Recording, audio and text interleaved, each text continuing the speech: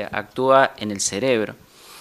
Y, qué es el abuso? Y que el abuso tiene que ver con el, uso, digamos, este, indebido de un, de un medicamento, en este caso, este medicamento que actúa en el cerebro. Em, ¿cómo, se da esto?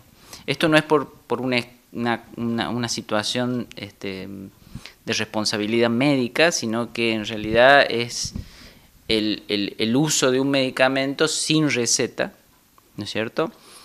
Eh, puede ser el uso de del medicamento que indicó el, profesional, ¿no es cierto? Este, de manera mm, diferente a lo que a la indicación precisa que tenía. Esas son maneras de, utilizar este, este, tipo de medicación que genera, digamos, efectos no, no beneficiosos para, para el desempeño, digamos, este, de, las personas. Un aumento en, los casos, de, por ejemplo, de insomnio. Eh, la angustia, digamos, este, ha prevalecido en, en, muchos sectores de la población. Y bueno, lo que le dio resultado a uno, este, en, conversaciones entre amigos, me dice, mira, a mí me dio resultado tal cosa, ¿por qué no probas con esto? le, convida como si fuera un... Caramelo. Sí, o algo así, y, así se empieza, ¿no es cierto? Este, lo cual, por supuesto que no es lo, conveniente, ¿no es cierto? La, me parece que hay que volver otra vez a, a, un orden en este, en este sentido. Eso genera, genera muchos problemas. Tengo entendido que entre Argentina y Uruguay son los países con mayor consumo de psicofármacos en toda Latinoamérica.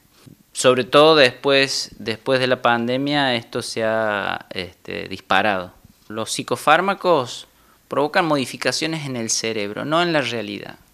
Entonces, entendiendo eso primero, eh, yo también y, decirle que a la, gente que eh, eh, es muy importante modificar la realidad. Para modificar la realidad es necesario un trabajo, un proceso.